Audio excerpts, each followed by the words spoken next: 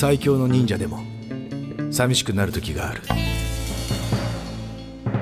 だって独身なんだもん。こ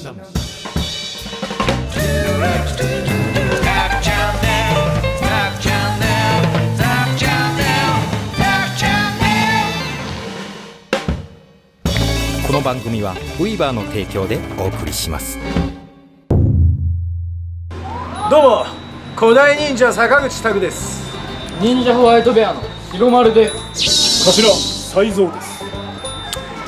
ねん。ねんいやー始まったねまた。そうですね。元帥何回言わせればわかるんですか。ここは銀円でございます。今銀円って言ったけどね。いえ銀円は金円の最上級でございます。なるほど。わかりました。それでは消しましょお願いします。さすがです。うそれではね今日はここ。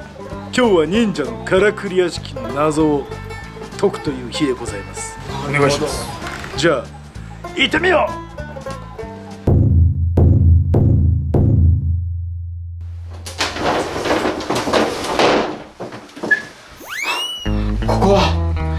どうやって出るんですか？たくあに教えてください！うパニクるんじゃない。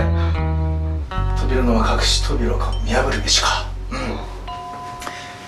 白丸はい。大体なここはテーマパークだろ？はい。人が触っているものを探せばいい。な？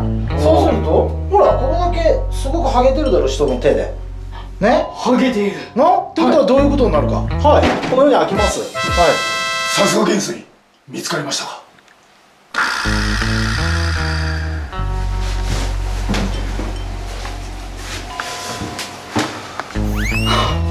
たくあにまた閉じ込められてしまいました。そうビビるんじゃねえ風呂が怪しいな。水が入ってないし風の感じがする。ここ覗いてみろ。入り道があるはずだ。出口が見える。さすが元帥見破りましたか？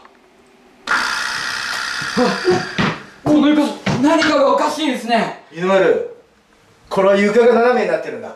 相手の中心それをこうずらそうとしてるんだな。うん。さすがだ。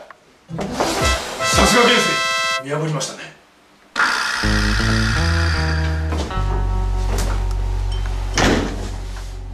タンスの馬かタンスだらけだもう出られないんだ。たくあにでもこりゃ無理だ。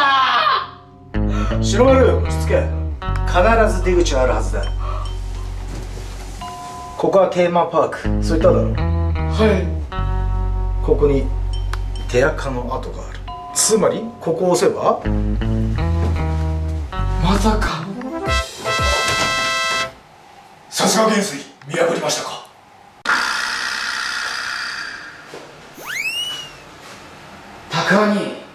ここなら大丈夫そうですね。大丈夫なんてことはないんだ。ここにも忍びの匂いがするな。いよいよ大詰めだ。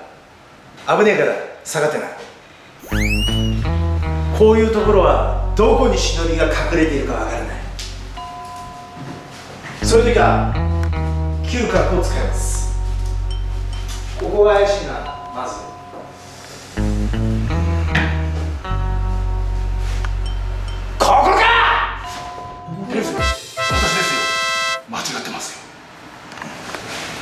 そんなとこに隠れるでない。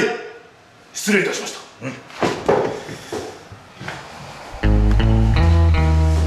こも怪しいけど違うか。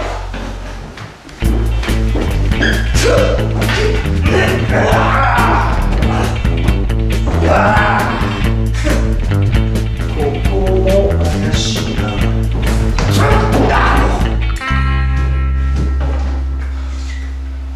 うん白丸もう大丈夫だぞ。出てこい。白丸。白丸！あれほど戦いの近くに行くなって言ったのに！チャンネル登録よろしく！次回お楽しみに。ウィーバー